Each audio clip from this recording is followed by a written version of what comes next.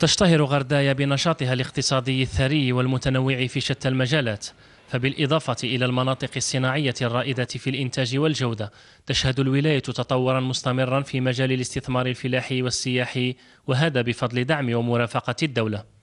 هذا الصرح سيكون لبنة إضافية يعني للولاية وللوطن. ونشكر جميع السلطات سواء المركزية على رأسها السيد رئيس الجمهورية وعلى مستوى المحلي كذلك السلطات المحلية سارعت إلى اتخاذ الإجراءات اللازمة لتمكيننا من هذه الرخصة. هذا المرفق سيمكن من توظيف ممكن حوالي 30 موظف ما بين إطار وموظفين آخرين.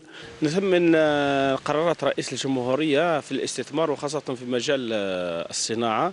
وإحنا كما جمعيين صناعة جمعية صناعية في القرارة إن شاء الله.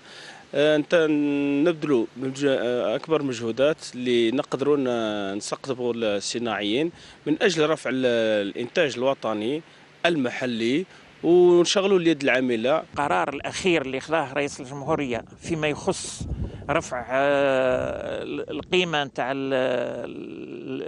المنتوج القمح يساعد ويفض ويدعم الفلاحين بكل الآخر ديك. تقدر ينكراجيهم تسليم رخص الاستغلال تطهير العقار الصناعي والفلاحي وتقديم التسهيلات اللازمة للمستثمرين هو ما تحرص عليه السلطات في ولاية غرداية.